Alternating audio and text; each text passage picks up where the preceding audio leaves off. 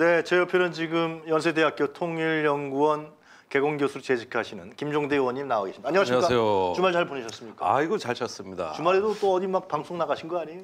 아니 그건 아니지만은요. 예. 주말 아니면은 진짜 좀 몸을 추스릴 시간이 없어요. 하루 종일 자야 돼요. 예, 예. 하루 종일 쉬고. 어, 예. 산에 가고. 사- 아, 어. 아, 저도 산에 갔다 왔는데 산에 가시군요. 예, 청계산. 아, 청계산이요. 아, 청계산 가면 또 아는 분들이 또 안녕하세요 막 셀카 찍자 그러잖아요. 음, 다들 껄- 헐떡헐떡거리기 때문에. 그 워낙 이제 그 북한 문제와 군사 전문가시니까 북한 얘기부터 좀 할까요? 아니 뭐 좋으실 대로. 네, 네. 예, 북한 문제 그- 얘기부터 하고 네, 그 다음에 네. 또 정치 현안은 좀 이따가 음, 음. 어, 열병식이 2월 8일인가 있었죠? 네, 밤에. 75주년. 예. 네, 근데 뭐 신형 무기들이 막 음, 음. 나왔다 그러는데 네. 이거 어떻게 해석해야 됩니까? 어, 이 부분은 음, 그 북한이 이제 미국의 ICBM을 발사할 네. 때 지금까지는 다 액체 연료 미사일입니다. 액체 연료. 예, 네. 뭐 화성 15형, 16형, 17형 다 액체 연료 미사일이거든요. 이거는 발사 준비 시간이 걸리고 네. 또 고정식 발사대 예, 지금 뭐 이동식 발사대가 나왔습니다만 네. 그 테리라고 하죠. 그래서 실구는 아닙니다만은 아무래도 조금 불안해요. 네. 그리고 너무 덩치가 크기 때문에 이렇게 급선회가 안 되거든요. 네. 큰 도로만 다녀야 되고 네. 여러 가지로 불안한데 이게 고체 연료로 지금 진화하는 것 같아요. 아. 그래서 이번에 공개된 거는 이제 준중거리 미사일인데 ICBM으로도 사용할 수 있을 것 같고 네. 그게 고체 연료 미사일이 되면은 기습적인 발사 능력을 갖게 되는 겁니다. 기습적인 발사. 어떤 징후도 없이. 그럼 액체 연료보다 고체 연료가 좀 적게 용량이 적은가 보죠? 아니 고체 연료는 이렇게 고체 연료통을 미리 끼워 놓으면 되고 네. 액체 연료는 그 발사 전 30분 전부터 아, 주입을 해야 되니까 아. 이런 과정이 복잡하고 다 네. 이제 외부에 관측이 되고 음. 어, 연료뿐만 아니라 산화제도 같이 그 네. 하기 때문에 연료 계통이 복잡합니다. 음. 반면에 고체는 심플해요. 어, 그러니까 이제 어, 사전 경고 없이 발사하는데 이게 ICBM으로 진화할 수 있느냐? 대륙간 탄도 미사일로 말이죠. 그렇습니다. 네. 예, 지금은 준중거리 미사일 이게 하나의 실물은 공개됐는데 네. 북한이 작년 올해 해가지고 굉장히 중요한 어떤 그 고체 연료 어, 대발동 고체 엔진 시험을 했다. 이걸 계속 저, 저 선전을 하고 예고 그랬네. 예, 선전해 왔는데 지상 시험을 한 겁니다. 네. 그러니까 이렇게 시험을 해서 신뢰성이 입증되면은 두 개의 그 엔진을 붙여서 네. 예, 1단, 2단 이런 식으로 네. 해가지고 이걸 미사일로 이제 바꾸는 건데 그 초기 단계에 지금 온 것 같아요. 아. 어 그러니까 미국으로서도 이런 부분들이 그 더 이상 북한을 방치했을 때, 네. 아, 아무런 대화도 없을 때, 이랬을 때 이제 날개도 친 듯 그냥 그 북한의 ICBM 능력이 강화되면은 여기서 이제 한미 간에 문제가 생기는 겁니다. 네. 저 우리 정부가 계속 미국에 묻는 거는 미국이 공격 당해도 한국에 핵우산을 제공할 수 있느냐. 그러니까 뉴욕이나 워싱턴에 ICBM이 떨어진다는 위험을 예. 감수하고 한국에 핵우산을 제공할 수 있느냐. 네. 이게 이제 그 우- 어, 윤석열 대- 어, 정부가 미국에 계속 묻는 거거든요. 그래요? 예. 근데 그거 왜 물어요? 그거를 그 사람이? 아니 확실하게 핵무기 가져오라 이거예요. 니, 어, 니들이 겁이 나서 못 가져올 수도 있는 거 아니냐. 만약에 한국에 전술핵을 제공했는데 네. 북한이 보복으로 네. 워싱턴이나 뉴욕을 때린다면 어. 망설일 수 있는 거 아니에요. 이게 바로 프랑스의 드골 대통령이 독자적 핵무장으로 간 논리예요. 네. 음. 그래서 그 소련이 미사일을 뉴욕에 발사하는 걸 위험을 감수하며 프랑스에 핵 전력을 제공할 수 있겠느냐. 음. 그러니까 프랑스가 자체 핵무장의 길로 갔죠. 못 믿겠다. 찢어진 우산이다. 음. 그런데 지금 윤석열 대통령이 그 얘기를 하는 것이죠. 네. 그러니까 이 점에서 어떤 great game, 이제 어떤 큰 하나의 그 도박이 지금 그러면 의원님 그 미, 어, 고체 연료를 진화시켜서 음. ICBM의 그러면은 그 성능이 더 디, 올라가는 게 develop 되는 거 아닙니까? 네. 그렇게 되면은 미국이 대화의 장으로 나올 확률이 큽니까? 아니면은 더욱더 강경책으로 나갈 확률이 큽니까? 아니 그 두 이야기를 다 하고 있는 건데 네. 지금 바이든의 외교 정책 거의 지금 실패작이라는 게 미국의 아, 그? 조야에서 아. 예. 사실은 안보 부담은 안보 부담대로 키우면서 네. 동맹국을 뭐 대중국 결속하는데도 뚜렷한 성과가 없다. 네. 이런 상태에서 북한은 계속 이제 위협이 현실화되고 구체화되고 아. 도대체 바이든 대통령이 한 게 뭐냐? 이것도 아니고 저것도 아니다. 그런 이것도 말씀이신 아니고 거- 저것도 아니고. 어. 그러면서 이제 중상주의, 자국 우선주의로 돌아간 게 트럼프 때하고 다를 게 없다. 네. 뭐가 미국이 돌아왔냐? 왜 취임하자마자 왜? 어. 어, 그런데 특히 한국과 일본에 대해서 지금 굉장히 바이든 대통령이 불신받고 있다는 이 보고서들이 지난주에 CSIS 국제전략연구센터 아. 이런 어떤 그 유수의 싱크탱크 보고서로 일제히 나가고 있습니다. 한국 정부와 일본 정부로부터 바이든 행정부가 불신받는다. 불신받는다. 안보는 안보대로 불신받고 예. 어 그다음에 북한하고 대화도 없고 음. 이것도 아니고 저것도 아니고 음. 어 이런 보고서들 이제 Foreign Affairs에다 하나가 보도가 됐고 네. 예, 또 저기 에, CSIS 또 랜드 연구소 어, 이런 예, 데서 예. 지금 음. 계속 나오고 있어요. 네. 근데 바이든은 이건 전략적 인내도 아니고 전략적 방치라고나 해야 될까? 어. 뭔가 좀 지금 어떤 그 자국 우선주의 사고에 빠져서 예. 한반도 문제에 거의 그 신경을 어, 안 씁니까? 예, 신경도 안 쓰고 대안도 내놓지 못하는 이런 게 미국 내에서조차도 지금 문제가 아? 되고 있어요. 음. 저 ICBM 이제 고체 연료 대봐라. 저 어떡할 거야? 어떻게 할 거냐고. 어, 거기에 중국, 러시아 아무 제재 어, 결의안에 찬성도 안 하고 아. 이런 부분입니다. 그런 점에서는 저는 올해 음. 대파국이 오거나 아니면은 기회 창문이 활짝 열리는 어떤 그좀뭐 결정적 시기가 올해에서 내년 사이에 오지 않을까. 이건 뭔가 이제 현상을 음. 방치할 수 없는 수준. 그 결정적 시기라는 건 좀 긍정적인 의미입니까 아니면 어, 잘못 관리하면은 음. 이거는 이제 국지전으로 갈 수도 있고요. 정말요? 예, 그런데 그 국지전은 과거와 다릅니다. 이제는 무인기, 사이버전 다 배합되는 복합 국지전이기 때문에 아주 치명적인 그 상황. 그 이제 꽃게잡이, 오징어잡이 철이 곧 다가오기 네. 때문에 잘못 관리했으면 거기서 이제 어, 미세한 충돌이 어, 한반도 전체를 흔들어대는 치명적인 사건이 될그 가능성이 의원님 있고. 말씀 제가 잠깐 정리하면은 정확하게 우리 시청자분들 이해를 위해서요. 그러니까 바이든 행정부가 대북 관계에 대해서 이것도 아니고 저것도 아니고 예. 대책도 대안도 내놓고 못하다 못하고 네. 있는 상황이고 아, 북한은 그 고체 연료라든가 이런 것에서 더욱더 진화된 음. 대- 대륙간 탄도 미사일을 발사하는 가능성이 높아지고 네. 반면에 윤석열 정부는 계속해서 전쟁, 예. 핵이 얘기만 하고 있으니까 이게 상당히 그렇죠. 리스크가 크다 그런 말씀이에요. 윤 대통령은 뭐 아무 대책도 없으면 백배 천배 뭐 그다음에 뭐 전쟁 두려워하지 마라 네. 이랬는데 제가 지금 고체 연료 얘기를 계속 하고 있습니다만은 네, 액체 연료 화성 17형은 대량 생산 체제로 들어갔습니다. 북한에서요. 예. 이번에 10기가 넘어요. ICBM 그 이동식 아, 발사대. 같은 열병식에 거. 나온 게 말이죠. 그냥 엄청나게 이제 양으로 네. 액체 연료 미사일은 양으로 승부하고 음. 고체 연료 미사일은 질적으로 승부하고 네. 어, 이렇게 투트랙으로 가는 거죠. 네. 그러면 제가 보기에는 저기 이건 그 저 북한에 대해 가지고 윤석열 대통령이 하는 건 미국 핵무기 내놓으라는 거거든. 아 그거 그거 이거 없거든. 그거밖에. 아니 남북 대화 그 자체를 죄악시해 버리니까 그건 가짜 평화라 그러니까 종전 협정도 저 가짜 평화고. 남북대가 얼마나 중요한 건데 우리 국민의 생명과 안전에 있어서. 어, 그렇습니다. 네. 예. 그래서 이랬을 때 이제 북한이 올해 뭐 벌써 식량에 조금 이상 조짐이 보이고 네. 이러는 시기에 어떤 인도적 어, 어, 대화부터 시작해서 음. 상호 신뢰 구축에 관한 거라도 초보적 신뢰 구축이라도 일단은 관리를 해야 되는데 예. 이걸 안 하면 국지전이 일어나는 거예요. 이걸 안 했을 때. 근데 할 생각이 없어요. 어.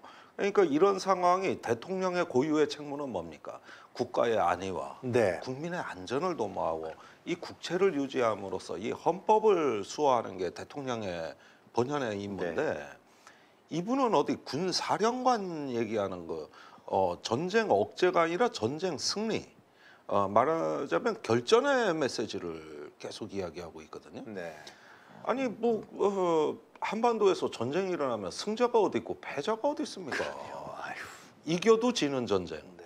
예, 그런데 이런 어떤 상황에서 자꾸 어떤 결전의 메시지를 내지 네. 이 어떤 그 국가의 안위와 국민의 안전에 대한 헌법적 책무에 대해서는 일절 말씀을 안 하시고 계시거든요. 이게 저로서는 좀 어, 굉장히 극단적이다. 어떤 때 보면 일본만 하더라도 네. 지금 안전보장 전략을 어, 개정해서 반격 능력 갖겠다, 적기지 능력 갖겠다 말은 또 이렇게 해서 가고 있지만 네. 다른 한편으로는 중국하고 지금 갬- 굉장히 긴밀한 전략 맞아요. 대화가 이루어지고. 예, 예. 중일 간의 무역액이 늘었어요. 네. 우리는 줄고 있는데. 어, 비자 발급도 훨씬 더 우리나라보다 우리 먼저 더 풀고. 먼저 풀어주더라고요. 예, 마크 대화를 해가지고 아. 그 대화 내용 중에 하나가 북한 문제거든요. 예, 그러니까 할 거 다 하면서 강할 땐 강하게. 그 강온을 같이 가는데 대한민국의 외교안보 정책은 그러한 선택지가 없고 그냥 결전. 아 그러면은 뭐하러 대통령 합니까? 저 참모총장하고 작전사령관이나 하시지. 그럼 무식한 겁니까? 무능한 겁니까? 아니면 뭡니까? 정체가 뭐예요? 아니 그러니까 네. 우습게 생각하는 거예요. 아, 북한은 우리가 확 눌러버리면 돼. 압수수색 해버려. 뭐 이런 식의. 김정은 사는데 평양을 압수수색한다고? 어, 예. 그러니까 이런 식의 이 안보를 우습게 보시는구나. 그러다가 이제 큰 코 다친 게 이명박이죠. 천안함, 아. 연평도 네. 어, 음. 쭉 이어지는 그 예. 일련의 안보 그 위기 사태 하나도 관리를 못했거든요. 어, 그래서 이명박 본인도 거의 엘리트 패닉이라고 네. 자기가 뭘 해야 될지 모르는 네. 음. 완전히 그 혼란 상태에 빠지는 그런 어떤 시나리오가 이 윤석열 대통령이 훨씬 준비 안 된 모습이기 때문에 더 어, 강도 높게 벌어질 가능성이 있다. 이번에 그 박진 외교장관 미국 갔다 그러는데 뭐 네. 4월인가 5월에 방미하는 문제를 협의한다 그러는데 뭐 들으신 얘기는 없습니까? 아니 갈 때는 음. 엄청나게 그저 어, 저 윤석열 대통령의 올해 상반기에 미국 국빈 방문을 협의하러 간다. 오, 어, 기자회견도 하고 메시지 뻥뻥 내놨어요. 근데 올 때 성명이 없어. 정말요. 예. 그런데 국회에서 밝혀졌죠. 어, 확정된 게 아무것도 없다. 결국 빈손으로 돌아온 거예요. 이것도 믿어지지가 않아요. 이럴 거라면 왜 갔으며 왜 처음에 그 국빈 방문을 한다고 그 얘기해 놓은 게 다 호언장담이 어디로 미국에서 무슨 갔냐고. 요구 조건을 내는데 잘 안 된 건가요? 왜 그런 거죠? 아니 사전 여부를 안 하고 갈 리도 없고 그런데 어. 제가 생각하기에 이게 바로 한미 동맹의 파열음이 나고 있는 대목인데 어, 윤석열 대통령이 불편한 겁니다. 미국에서요. 예. 음. 아니 걸핏하면 뭐 정전협정 위반 발언을 아. 어 이렇게 많이 해대고 이게 뭐 과거에 뭐 저기 그 저 이승만 대통령 북진 통일 어, 얘기하듯이 예, 예. 이런 것들을 보면은 아니 동맹 네트워크가 이게 원활하게 굴러가야 되는데 자꾸 돌출 일출 일탈된 어떤 그 이런 발언들이라든가 지금 미국 조야의 온통 분위기는 아직도 화제가 윤석열 대통령의 핵무장 발언이에요. 아직도 그거예요. 그러니까 이제 만나기도 거북해. 저 뉴욕에서 그 작년 9월에 48초 만난 거. 예, 그다음에 푸놈펜에서 왜 이 저 양자 회담도 아니고 한미일 그 어, 삼자 회담한 거. 요거밖에 없거든요. 근데 윤 대통령은 미국의 국빈 방문에서 엄청난 환대, 미 의회 연설 이거 하고 싶은 거거든. 뭐 김건희 여사도 이제 가고 싶어 할 테고. 굉장히 가고 싶은 거죠. 그래가지고 가서 음. 정상회담 사진 찍고 미 의회 기립박수 받고 아 이게 이게 해야 뇌에서 도파민이 팍팍 나오는데 이게 그 국민들 지지율도 좀 많이 하고 지금 돌파구가 이거라고 보는데 미국이 받아주질 않아요. 받아주지를 아니 망신도 이런 망신이 없어 그래. 아 그거 한다고 해서 언론에 보도해 놓고 그 다음에 갔으면 결과를 가져와야 되는데 없어요. 국회 대정부 질문에서 태영호 의원이 물으니까 확정된 거 아무것도 없습니다. 아무것도 없습니다. 진짜 쪽팔린 얘기구나. 예. 국가 망신만 계속 시키고 다니는 거. 아니 그러니까 동맹도 좋지만 국격이 있는 동맹, 어? 존중받는 나라, 그 다음에 설득을 하는 나라, 이런 어떤 그 중견 국가로서의 품격을 보여가지고 우리가 세계 속에서 아 우리도 이만큼 강해졌고 정말 우리의 자존감이 넘치는구나. 네. 주변 정세를 우리가 한번 주도해보자. 음. 주도하지 않으면 주도 당한다. 이 냉혹한 국제 질서 속에서 우리 중견 국가 대한민국이 평화와 번영을 말하고 또 주변국으로부터 존중받는 이런 게 가장 그 저 빛나는 시절은 문재인 정부 때였거든요. 이때는 넘쳤어요. 그건 너무. 맞아요. 예. 예. 그런데 지금은 왜 갑자기 존중받던 나라가 무시당하는 나라로 변하고 이렇게 중견 국가가 뭔가 초라하고 기어 들어가는 나라로 바뀌었는가? 말은 세게 하는데 이게 이게 이게 이런 어떤 그 저기 말과 현실 사이에 이 나오는 갭들이 이 부분이 감당이 안 되는 겁니다 지금 거기에다가 미국에 몇 번 빼맞았습니까? 일플레 감축법 아. 예, 치과 과학법, 예. 뭐 바이오 생명 시행령, 막 그냥 싸대기. 지난 5월에 작년 5월에 첫 번째 한미 정상회담 때 그 한미 간의 장관급 경제 안보 대화를 하기로 했다고 그 합의문 맨 위에 네. 나온 거, 음. 그거 아직까지 안 지켜지고 있어요. 아직까지도 바이든 왔을 때 한거 예, 말씀하시죠. 예, 예, 예. 1년이 다 되는데 아직도 안 지켜지고 그 사이에 예, 인플레 감축법, 반도체법, 바이오 시행령은 다 통과됐어요. 그 문제를 갖고 경제 대화가 안 됐다고. 안 됐어요. 그리고 중국에서는 또 지금 수출 팍팍 줄고 이러고 있죠. 이 외교의 실패가 올해 민생의 실패로 연결이 되는 겁니다. 아니 이건 역대의 뭐 제가 그 구체하게 말씀 안 드려 우리나라 한국은 외교를 먹고 사는 나라잖아요. 그건 네. 진짜 수출이 문제가 있기 때문에 아니 그럼요. 이런 게 전혀 안 되는 있는 안 되죠. 그러니까 지금 미국의 중상주의 그 자국 우선주의는 이 인도 태평양 전략하고 정확히 충돌합니다. 인도 태평양은 동맹국에도 인센티브를 줘서 네. 이 동맹의 네트워크를 잘 유지하자 이 사상인데 네. 실제 정책은 어떠냐? 미국 내에서 생산되는 것만 보조금 주겠다. 어 그다음에 저기 예, inshoring 외국에 나가 있는 미국 공장을 불러들이고 일자리는 미국에서만 만들겠다. 동맹국엔 보조금 안 주겠다. 특히 한국에 대해서. 네. 자, 이 정책하고 인도 태평양 전략하고 이게 어떻게 조화가 됩니까? 이 조화에 바이든 정부는 실패한 거예요. 실패했는데 우리는 이런 현상을 잘 살펴보면서 우리의 국익은 뭔가를 정해야 되는데 인도 태평양 전략으로 다 쫓아가고 그다음에 미국의 중상주의 칼은 맞고 그냥 맞고. 어 이렇게 돼 버리니까 네. 바이든의 실패는 윤석열 대통령의 그 동맹 정책에 재앙이 된 것이죠. 그러는 동안에 이제 중국으로부터 이제 수출이 반토막 나는 거거든요. 자 이게 민생에 주는 어떤 고통과 네. 앞으로 쓰나미처럼 밀려온 어떤 민생의 위기에 하나의 어떤 배겨, 배후를 이루고 있다. 어, 그리고 대기업부터 작살난다 이제 중견기업은 나중 문제라 하더라도 그래서 이런 문제들이 지금 어, 있는데 윤석열 대통령은 아직도 아직도 인도 태평양 전략 아직도 미국 핵 억제 그 한반도 전개거든요. 그거는 뭐랄까 일종의 레토릭 차원의 실체 없는 전략입니다. 어, 인도 태평양 전략 있으면 뭐 합니까? 미국이 다 자국 우선주의로 가버릴 건데. 예.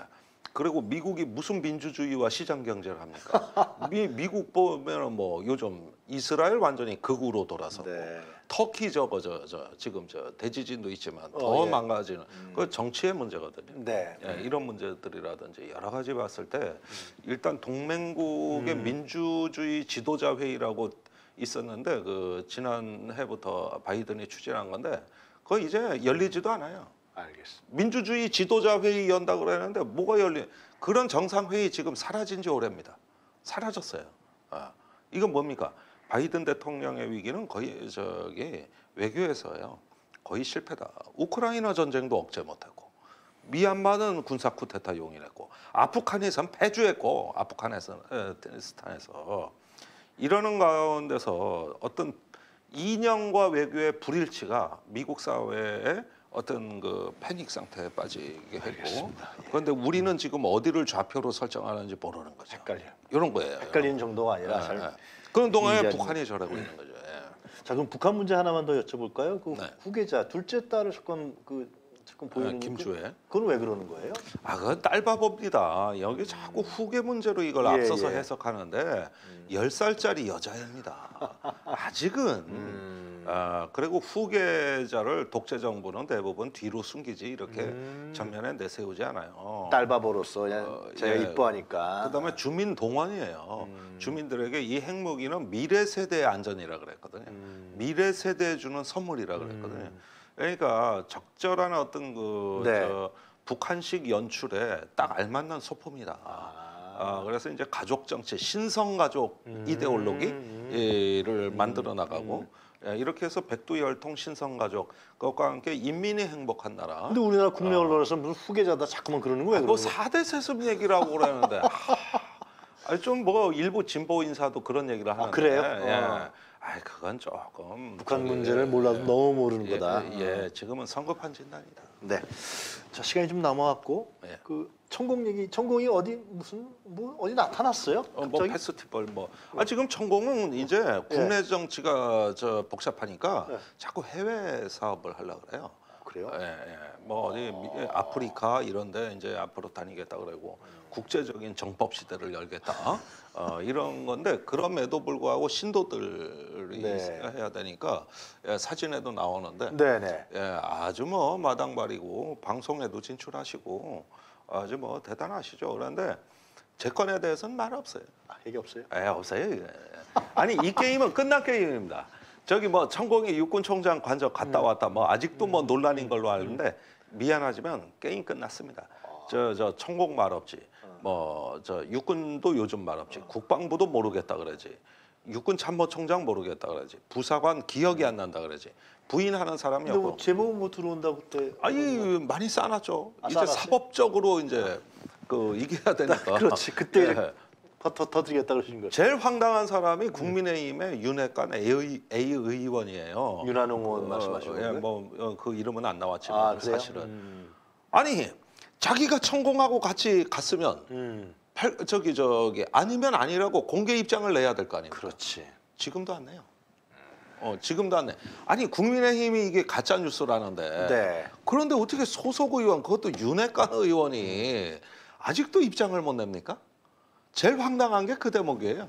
예. 어, 기자들이 저 가도 피해요. 그러면 뭐 보도 자료나 기자회견이라도 해야 될 거 아니에요.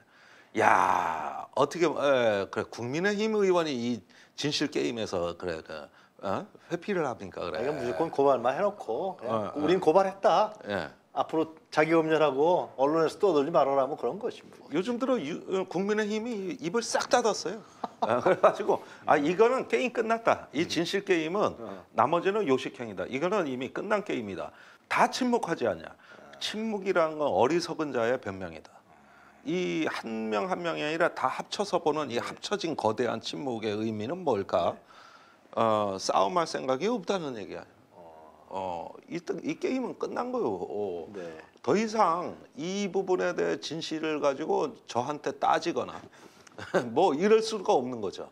그냥 피하기 급급한 거예요. 알겠습니다. 그게 지금 국민의 힘입니다. 예. 정치 현안 하나만 네. 간단하게 네. 물... 김건희 특검 뭐 대장동 특검 얘기가 뜨거운 감자로 나오는 논란이 나오는데 의원님 네. 생각은 어떻게 하세요? 그러니까 요게 지금 야권에 두 가지 사고가 있는 것 같은데 아, 예. 이걸 일괄해 가지고 일제 사격으로 두 건에 대한 특검을 동시에 가느냐 그렇지. 아니면 나눠서, 나눠서 일단 하느냐. 대장동 50억 클럽이 더 일단은 음. 어, 지금 무죄 판결이 나왔으니까 이걸 먼저 하고.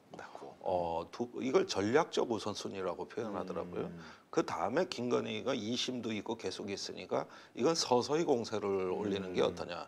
이게 이제 정의당과 시대전환 입장인 것 같고 아, 예. 어, 반면에 대장동은 제가 보기에 의견 통일이 된 것 같습니다. 아, 그래요? 예. 범위에 대한 50억은 즉시내도 됩니다. 음.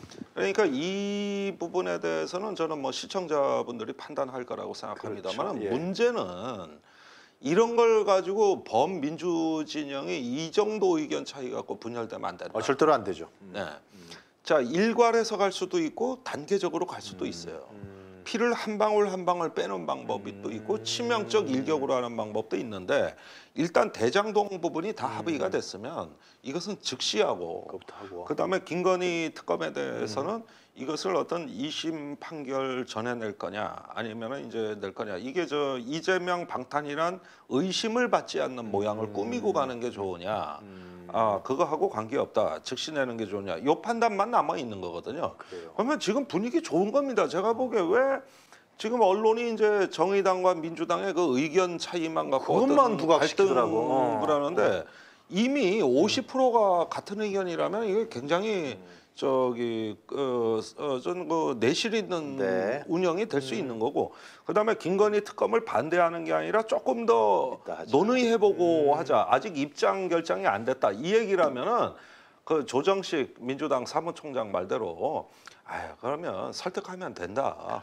그러니까 지금은 이렇게 촛불과 민주진영 또 어, 개혁 진보를 이야기하는 음, 분들이 의견 차이를 부각시키지 말고 이걸 전체적으로 아우러 나가는 이게 돼야 되는데 오늘 아침 언론은 다, 다 그, 그냥 예, 예, 예, 어떻게 이렇게 찢어지는 그럼 되겠나? 예, 안 예, 되겠나? 예. 그거야. 그 얘기가 있어요. 그러나 얼마나 분위기 좋습니까? 이 우리가 윤석열의 폭정에 시달리면서 음. 그래도 반격의 기회를 이렇게 잡은 게 얼마만이에요. 그렇죠.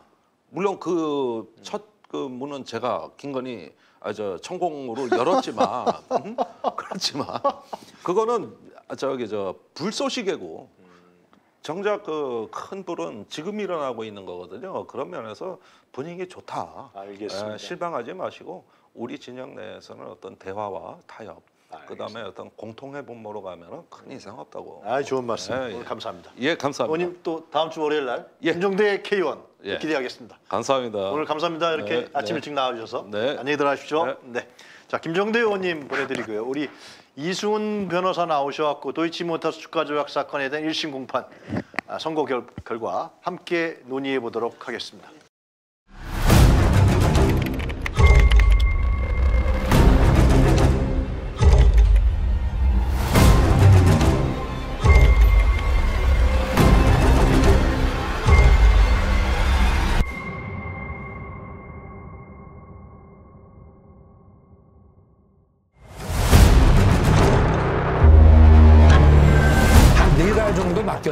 손실을 봐서 저희 집사람은 거기서 안 되겠다. 그 사람하고는 절연을 했습니다.